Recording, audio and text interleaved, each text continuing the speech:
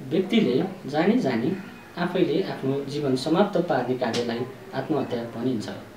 आत्महानि वा आत्महत्याको सोच विचार योजना वा प्रयास गर्नु एक मानसिक स्वास्थ्य समस्या पनि हुन सक्छ।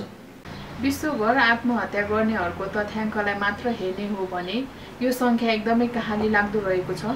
तथापि यो रोकथाम गर्न सकिने समस्या हो। आत्महत्याको रोकथाम तथा नियन्त्रण गर्न सम्भव छ। तर यसका लागि समयमै यसका जोखिमका सङ्केतहरू पहिचान गरी आवश्यक सहयोग गर्न जरुरी छ। आत्महत्या रोकथाममा सबैले सहकार्य गरौँ गरे असम्भव केही छैन।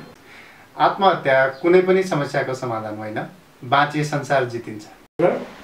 सेप्टेम्बर दसलाई विश्व आत्महत्या रोकथाम दिवसको रूपमा विश्वभरि नै विविध जनचेतनामूलक कार्यक्रमहरू गरी मनाउँदै आइरहेको छ।